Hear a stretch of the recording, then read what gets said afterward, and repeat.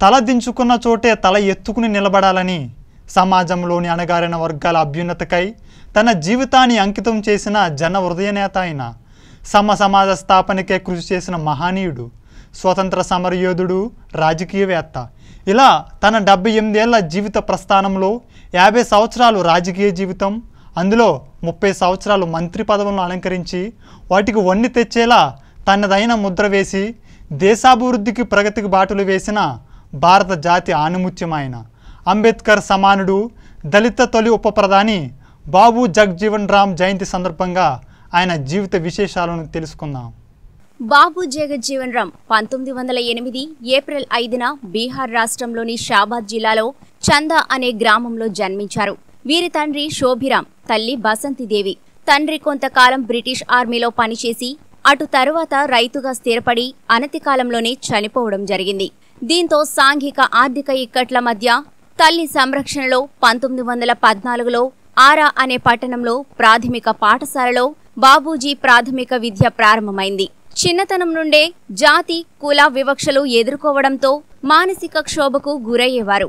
తాను చదువుకున్న పాఠశాలలో దళితులు త్రాగే నీళ్ళను త్రాగడానికి అగ్రకులాల విద్యార్థులు నిరాకరించడంతో ఆ పాఠశాల హెడ్మాస్టర్ దళితుల కోసం వేరే కుండను ఏర్పాటు చేశారు. ఈ అవమానాన్ని తట్టుకోలేని బాబూజీ పెట్టిన ప్రతి కుండను పగలగొట్టి తన నిరసనను తెలియజేసేవారు. దీంతో ఆ పాఠశాల హెచ్ఎం ఒకే కుండను ఏర్పాటు చేయడం జరిగింది. పువ్వు పుట్టగానే పరిమళిస్తుంది అన్నట్లుగా తొందరగా బాబూజీ చిన్ననాటి నుండి చురుకైన తెలివైన విద్యార్థి. అందరికీ కష్టమైన గణితంలో సంస్కృతంలో నూటికి నూరు శాతం మార్కులు సాధించి ఫస్ట్ క్లాస్లో మెట్రిక్యులేషన్ పూర్తి చేశారు. కళాశాల విద్యను బెనారస్ హిందూ యూనివర్సిటీలో కొనసాగించారు. అక్కడ పంతొమ్మిది వందల ముప్పై ఒకటిలో బీఎస్సీ డిగ్రీ పట్టాను పొందారు. జగజ్జీవన్ రామ్ రాత్రింబవళ్ళు కష్టపడి భోజ్పూరితో పాటు హిందీ ఇంగ్లీష్ బెంగాలీ సంస్కృత భాషలలో ప్రావీణ్యం సాధించారు. ఆయన చదువుకున్న రోజులలో దళితులకు ఇచ్చే స్కాలర్షిప్లను తీసుకోవడానికి నిరాకరించేవారు. అదే సమయంలో విద్యలో ప్రతిభను కనుబరిచే ఇతర విద్యార్థులకు ఇచ్చే స్కాలర్షిప్లను పొందడం జరిగింది. జగజ్జీవన్ రామ్ ఎంతో మేధావి. కడజాతిలో పుట్టడం వల్ల చిన్నతనం నుండి ఎన్నో అవమానాలు కష్టాలు భరించారు. సమాజంలో దళితుల పట్ల చూపే అంటరానితనం దళితులకి జరిగిన అన్యాయం పట్ల పోరాటం జరపడానికి దళిత ప్రజలను ఏకతాటిపైకి తీసుకువచ్చి ఒక సామాజిక పోరాట కార్యకర్తగా ప్రజా జీవనంలోకి అడుగుపెట్టాడు. కార్మికుల కోసం పోరాడి ముప్పై ఐదు వేల మంది కార్మికులతో పెద్ద ఎత్తున ర్యాలీ నిర్వహించారు.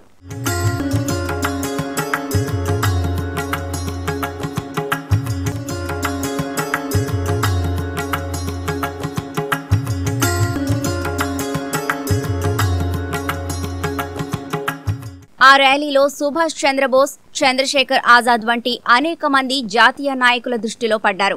పంతొమ్మిది వందల ముప్పై నాలుగులో బీహార్లో సంభవించిన భయంకరమైన భూకంపం సందర్భంగా జగజ్జీవన్ రామ్ ప్రజలకు అందుబాటులో ఉంటూ తన బృందంతో పునరావాస చర్యలు చేపట్టారు. ఆహర్నిశలు శ్రమించి బట్టలు ఆహారం మంచినీరు ఔషధాలు వంటి వాటిని ఏర్పాటు చేసి ఆదుకున్నారు. ఈ సందర్భంలోనే ఆయన గాంధీజీని మొదటిసారిగా కలుసుకున్నారు. విద్యార్థి దశ నుండే గాంధీజీ అహింసా సిద్ధాంతం పట్ల ఆకర్షితుడై పంతొమ్మిది వందల ముప్పై ఐదులో జరిగిన సత్యాగ్రహ దీక్షలో పాల్గొని బ్రిటిష్ వారి పోలీసులను ఎదిరించి లాఠీ దెబ్బలకు బెదరకుండా నిలబడ్డ మేటి స్వాతంత్ర సమరయోధుడు. కాన్పూర్లో పంతొమ్మిది వందల ముప్పై ఐదులో జరిగిన డిప్రెషన్ క్లాసెస్ లీగ్ కాన్ఫరెన్స్కు అధ్యక్షత వహించారు. ఈ సంస్థకు పంతొమ్మిది వందల ముప్పై ఆరు నుండి పంతొమ్మిది వందల నలభై రెండు వరకు అధ్యక్షుడిగా వ్యవహరించారు. కాన్పూర్కు చెందిన సంఘ సంస్కర్త బీర్బల్ కుమార్తె ఇంద్రాణీదేవితో వివాహం జరిగింది. ఇంద్రాణీదేవి దేశ స్వాతంత్రోద్యమరాలు మాత్రమే కాదు మంచి విద్యావేత్త కూడా. వీరికి ఇద్దరు పిల్లలు కుమారుడు సురేష్ మరియు కుమార్తె మీరా కుమారి. ఈమె తండ్రి ఆదర్శాలతో ఆశయాలతో పెరిగి కేంద్ర మంత్రిగా మరియు మొట్టమొదటి మహిళా లోక్సభ స్పీకర్గా సేవలు అందించారు.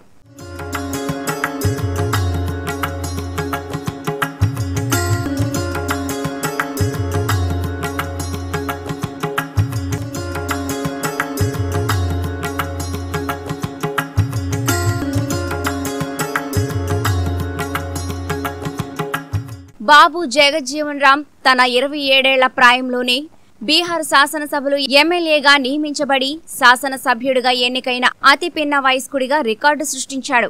డిప్రెషన్ క్లాసెస్ లీగ్ తరఫున బీహార్ లెజిస్లేటివ్ అసెంబ్లీకి తన వారిని పద్నాలుగు మందిని గెలిపించుకున్నారు. దీంతో కాంగ్రెస్ పార్టీ తమ పార్టీలో చేరాలని ఆహ్వానించగా పంతొమ్మిది వందల నలభై రెండులో కాంగ్రెస్ పార్టీతో చేతులు కలిపి పంతొమ్మిది వందల అరవై తొమ్మిదిలో కాంగ్రెస్ అధ్యక్షుడిగా మంచి పేరు తెచ్చుకున్నారు. పంతొమ్మిది వందల డెబ్బై ఏడు ఎమర్జెన్సీ సమయంలో ఇందిరాగాంధీతో విభేదించి పార్టీ నుండి బయటకు వచ్చి ప్రజాస్వామ్య కాంగ్రెస్ పార్టీని స్థాపించారు. పంతొమ్మిది వందల ఎనభైలో కాంగ్రెస్ పార్టీని స్థాపించి దామోదరం సంజీవయ్యను ఆంధ్రప్రదేశ్ ముఖ్యమంత్రిగా చేయడంలో కీలక పాత్ర పోషించారు. ఆనాడే యాభై ఏళ్ళకు పైగా పార్లమెంటేరియన్గా మహా అనుభవశాలిగా వ్యవసాయ ఆరోగ్య రైల్వే రక్షణ శాఖ మంత్రిగా మరియు ఉప ప్రధానిగా ఆయన అందించిన సేవలు దేశ భవిష్యత్తుకు ప్రగతి బాటలు వేశాయి. ఆయన తీసుకున్న నిర్ణయాలు దేశాభివృద్ధికి ఎంతగానో ఉపయోగపడ్డాయి. ఆయన రక్షణ మంత్రిగా ఇతర దేశాలకు భారతదేశ శక్తి సామర్థ్యాలను తనదైన శైలి నిర్ణయాలతో దేశ ఔన్నత్యాన్ని పెంచిన ఉత్తమ రాజకీయవేత్త. అందరిలాగా మంత్రి పదవులను అనుభవించే వ్యక్తిగా కాకుండా ప్రతి పనిలోనూ తనదైన ముద్ర వేసిన కార్యదక్షుడు బాబు జగజ్జీవన్ రామ్.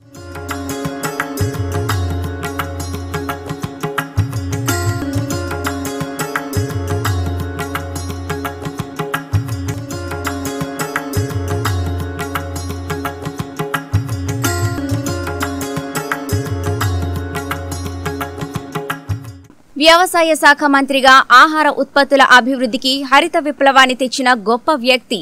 ఆహార శాఖ మంత్రిగా ఆహార గిడ్డంగులు రైల్వే శాఖ మంత్రిగా రెడ్డిస్ రైల్వే వ్యవస్థను ప్రక్షాళన చేసి తనదైన ముద్ర వేసిన భారతీయుడు. ఒకవైపు తక్కువ కులం అంటరానితనంను ఎదుర్కొంటూనే జాతిని జాగృతం చేసిన సామాజిక విప్లవ యోధుడు. జీవితాంతం తన జీవితాన్ని ప్రజాసేవకే అంకితం చేసిన వ్యక్తి. ఆయన గొప్ప రచయిత కూడా. భారతదేశంలో కులం సవాళ్ళు జీవన సరళి వ్యక్తిత్వ వికాసం అనే రెండు గ్రంథాలను కూడా రాశారు. ఆయన గొప్ప అధ్యయనశీలి ఉజ్జయినిలోని విక్రమ విశ్వవిద్యాలయం పంతొమ్మిది వందల అరవై తొమ్మిదిలో డాక్టర్ ఆఫ్ సైన్స్ గౌరవ డాక్టరేట్ను మరియు తాను ఎంతగానో మెచ్చుకున్న కాన్పూర్ విశ్వవిద్యాలయం గౌరవ డాక్టరేట్ను ప్రదానం చేశాయి. అణగారిన వర్గాల అభ్యున్నతికి అలుపెరుగని మహనీయుడు పంతొమ్మిది వందల ఎనభై ఆరు జూలై ఆరున తుది శ్వాస విడిచారు.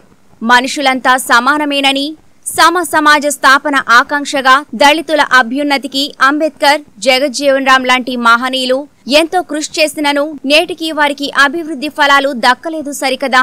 ఆధునిక ఈ కాలంలో కూడా అంటరానితనం కుల వివక్ష నిర్మూలించబడలేదు. దేశవ్యాప్తంగా గ్రామీణ ప్రాంతాలలో ఉన్న కొన్ని వేల మంది దళిత మహిళలపై దళితులపై హింస చెలరేగుతూనే ఉంది.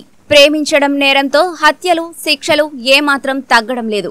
పంతొమ్మిది వందల ఎనభై తొమ్మిదిలో దళిత మహిళలపై హింసను అరికట్టడానికి చట్టాన్ని తెచ్చినప్పటికీ హింస మాత్రం తగ్గలేదు. ఇప్పటికీ అనేక రకాల దాడులకు నిందలకు అత్యాచారాలకు గురవుతూనే ఉన్నారు.